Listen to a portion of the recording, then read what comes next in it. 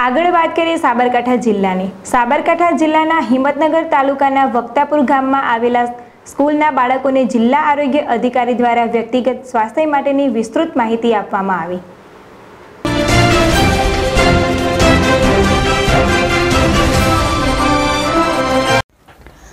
હિંમતનગરના વક્તાપુર મુકામે આજરોજ સંઘવી કે કે હાઈસ્કૂલમાં જિલ્લા આરોગ્ય અધિકારી અને તાલુકા અધિકારી શ્રીની સાનિધ્યમાં તબીબી અધિકારી દ્વારા બાળકોને મકમચ્છરથી તરકો ડેન્ગ્યુ, ચિકનગુનિયા સ્વાઇન ફ્લૂ તેમજ તમામ રોગો સામે કઈ રીતે પોતે રોગોનો ભોગ બને તે હેતુથી સમજાઈ શકાય તે પ્રમાણે સુંદર માહિતી પૂરી પાડવામાં આવી હતી.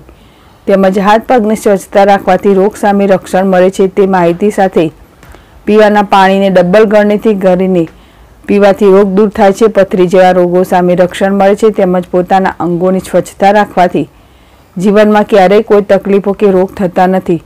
કાયમ સવારે નિત્યક્રમ કરી પોતાની ક્રિયા કરવી જોઈએ. બ્રશ નાહવું સંડાસ બાદ સાબુથી હાથ ધોવા, કોગરા કરવા તેમજ નાહ્યા પછી માથાના વારમાં તેલ નાખવાથી મગજમાં ખૂબ સારી ઠંડક રહે છે. તેમજ અભ્યાસમાં પણ બાળક સ્વચ્છ હોય તો પૂરેપૂરું ધ્યાન રહેતું હોય છે.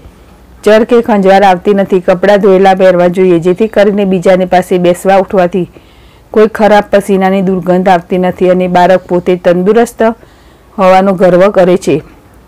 તમામ રોગોને મુક્ત કરવા માટે સ્વચ્છતા હોવી જરૂરી છે તેવી માહિતી પૂરી પાડવામાં આવી હતી. તમામ શિક્ષકગણ તેમજ બાળકો દ્વારા માહિતી પૂરી પાડનાર ડોક્ટરશ્રીને તારીઓના ગડગડાટથી વધાવવામાં આવ્યા હતા.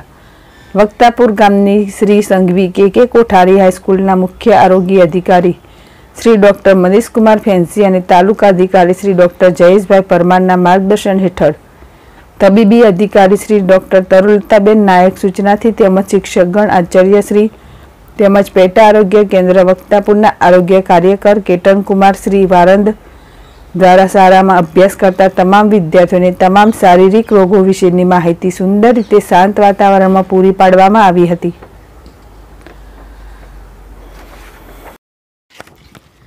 સૈયદ સોયબ, જેડેશ ટીવી, હિંમતનગર.